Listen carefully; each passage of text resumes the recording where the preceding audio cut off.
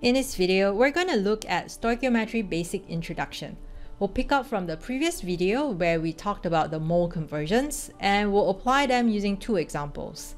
You'll see how we can easily handle any stoichiometry problems without stress. Are you ready? Here's a quick recap from the previous video where we talked about why mole is important and how we can use it for various conversions. Therefore, if we remember these relationships, we'll be all set to handle any stoichiometry problems. These three conversions involves conversion of the same substance, and if we need to convert from one substance to another, then we can use the molar ratios to convert between the two substances. I'll place the link to the previous video if you need a recap on that. So, are you ready to roll? Alright, so we're gonna use these conversions plus dimensional analysis to tackle the two stoichiometry problems now, in case you don't know what is dimensional analysis, don't worry. It'll make perfect sense once we go through an example. Just hang in there for a bit. Here's our first question. It's asking us to find the moles of CaCO3 in a sample containing 3.25 times 10 to the power of 24 molecules of CaCO3. Let's start by listing out the info we're given. We have 3.25 times 10 to the 24 CaCO3 molecules. And we're asked to find the moles of CaCO3. Now, before we jump straight into solving the problem, it's best to come up with a plan first. So we're asked to find the moles of CaCO3 and we're given the molecules of CaCO3. The number of atoms, molecules, ions, these are all referring to the number of particles. And we know that we can interconvert between moles and particles using the Avogadro's constant, 6.022 times 10 to the power of 23. So that means we can easily convert from CaCO3 molecules to moles of CaCO3 using Avogadro's constant. Now in case you're wondering, well, should I divide or should I multiply the Avogadro's constant? And I said, don't worry about it. We'll use dimensional analysis to figure that out. All we have to remember is that in order for us to convert from particles to moles or moles to particles, we need Avogadro's number. And that's all which is 6.022 times 10 to the 23. And chances are high that that constant is given. You want to check with your school on that. So just remember that relationship and you're going to be all set. So we're looking for moles of CaCO3. So usually I start it out by writing out moles of CaCO3 and then I write out equals what's given. So what's given is 3.25 times 10 to the 24 molecules, which is CaCO3 molecules. And then now we're going to use dimensional analysis. Basically, what we do is we multiply and then we draw a line across. And then we place the unit that we don't want at the bottom. And in this case, the unit that we don't want is molecules. So we place it at the bottom. And the reason why we place it at the bottom is just so that the molecules and the molecules can cancel out like that. And then after that, we place the unit that we want on top, which in our case is going to be mole. That's the unit that we want to figure out, so we put mole on the top. So now all we have to do is fill in the numbers. Remember the Avogadro's number? 1 mole of anything is 6.022 times 10 to the 23 of anything. So our anything in this case is CaCO3. So we place 1 in front of mole and then 6.022 times 10 to the 23 molecules. So now that we've placed that in, all we have to do now is just punch these values in our calculator. So we have 3.25 times 10 to the 24 divide by 6.022 times 10 to the 23. And that should equal 5.40 moles. Pretty easy, right? So that's basically solving stoichiometric problem using dimensional analysis and the relationship, which is using Avogadro's number to interconvert between moles and particles. So you might be thinking, well, this is a super easy question. What about if it's harder? Can we still use the same method? Well, yeah, absolutely. Let's try a more challenging one. Here's our next question. Feel free to pause if you want to give it a shot first. I'm going to continue. So this is a super short question. Basically, we're asked how many oxygen atoms are present in 265 grams of CaCO3 sample. So let's figure out what we're given, which is 265 grams of CaCO3, and we're asked to find the oxygen atoms. So we have the two things, And now we need to come up with a plan. So this is not so straightforward like our first question, but it's okay, we got this. So before we start coming out with our plan, let's just list out the relationships that we have.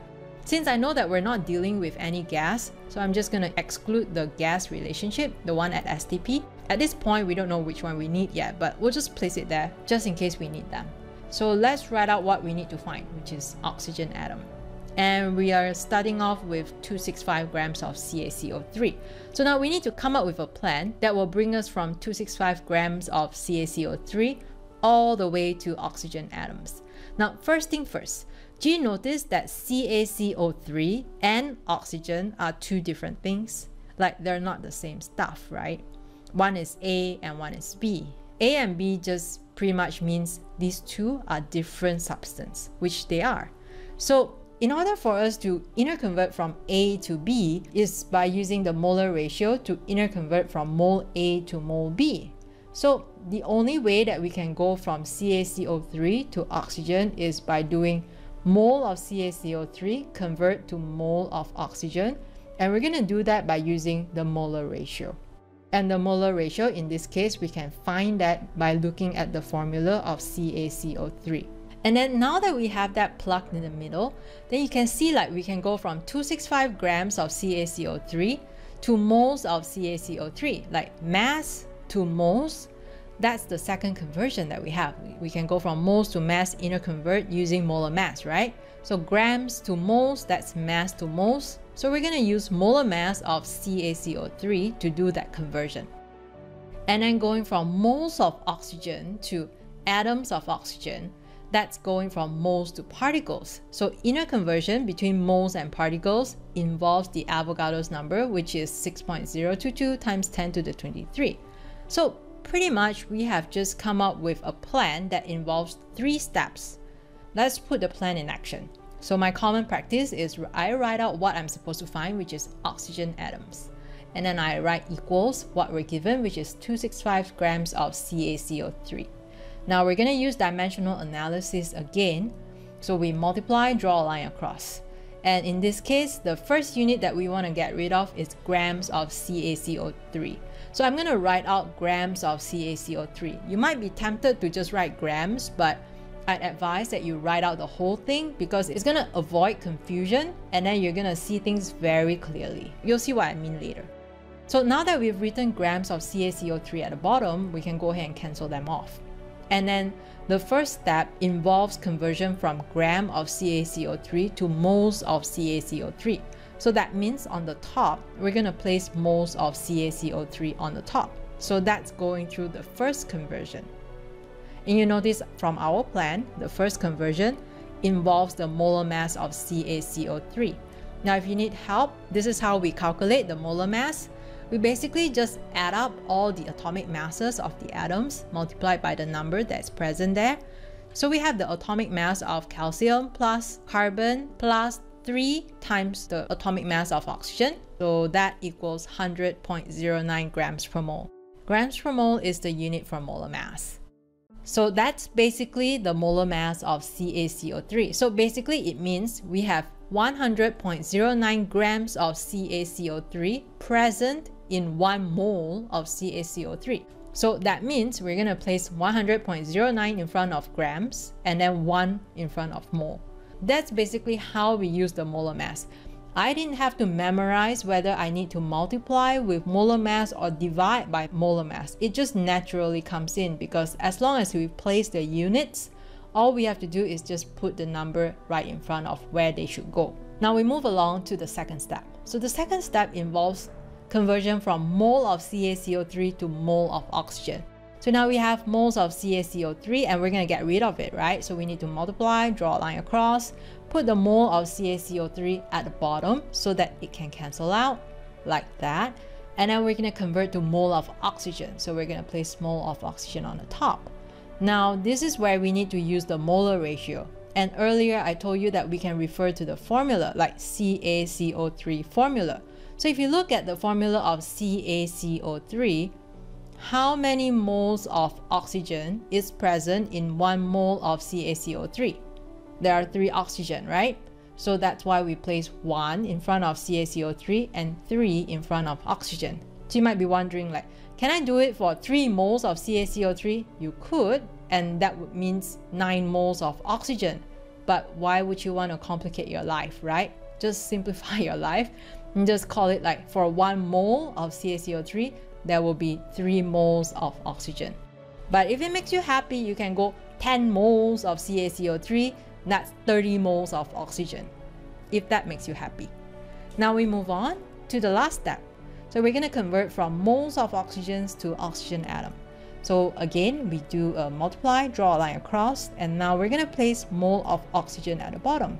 And that way we can cancel them out and then replace oxygen atoms on the top because that is what we're looking for. In this last conversion, we're going to use the Avogadro's number. So Avogadro's number is 6.022 times 10 to the 23 of anything. Our anything in this case is oxygen atoms. And that's for one mole. So we place 1 in front of the mole. 6.022 times 10 to the 23 in front of the oxygen atoms. So that is how we get our conversions done.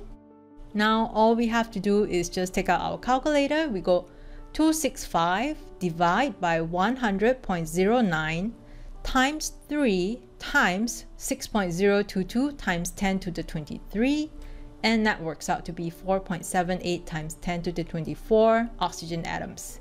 If you worked it out on your own, did you get the same answer? Alright, that's pretty much it. Pretty easy, right? We solved a stoichiometry problem involving three steps and we did it without breaking any sweat. I like this method because I don't have to memorize whether I have to multiply or divide with the molar mass or the molar ratio or the Avogadro's number. Let me know what you think of this method. I'd really love to hear from you. If you want to see more stoichiometry problems, just let me know in the comments and I'll create more videos on that. Hey, thanks so much for spending the last few minutes with me. I really do appreciate it.